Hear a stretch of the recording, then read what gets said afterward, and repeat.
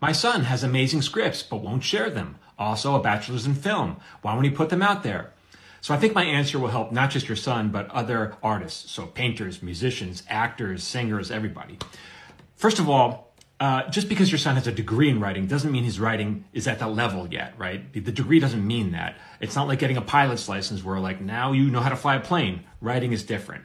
And your son may recognize that. He may feel like it's not quite there yet. And he's right. He shouldn't be in a hurry to prove to the world that he's not ready. So as long as he's working on his craft every day and writing and writing, then he's doing the right thing, you know, because he'll get better. At some point, you're right. He's going to have to uh, put his work out there. And that can be very scary. So I'm going to share a story from my past that I think may help.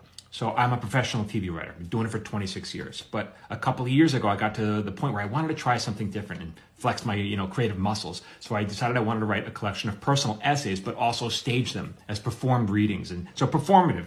Uh, and that's, that's kind of out of my comfort zone. So I was insecure about that. And I was talking to my friend Missy, who helps people with stuff like this. I'll, I'll tag her if you want to follow her below. If she's on this platform. Anyway, uh, we were talking, and I said that, you know, as a child, people always said that I had a gift for writing, that I was very gifted.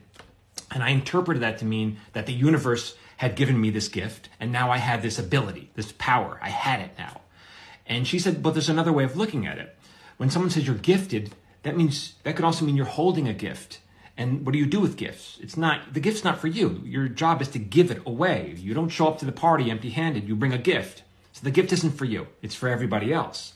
And when you look at your creative work that way, it kind of changes the energy. It's like, yeah, okay, this is not for me, it's for everyone else. And it changed the energy into how I approached uh, this work. Uh, the show was called The Paper Orchestra, right? And it was uh, six six shows, sold them all out, and people wanted more. They they want, but you know, so we're going to do more. But it changed the energy because I was now thinking about, well, how can I give people something, you know?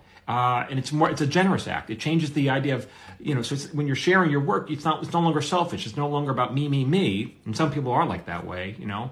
But if you approach it with like what can i give people uh, it's a much more generous way of thinking about your work. And it's now it's your obligation to share your work your talent with the world. It's your obligation. Anyway if you'd like to come see my show we're going to do more. We're touring with it uh, for tickets go over here. Well, I think the next city we go to is going to be Boston, but after that, uh, I hope to get to your city. So just go here to learn more.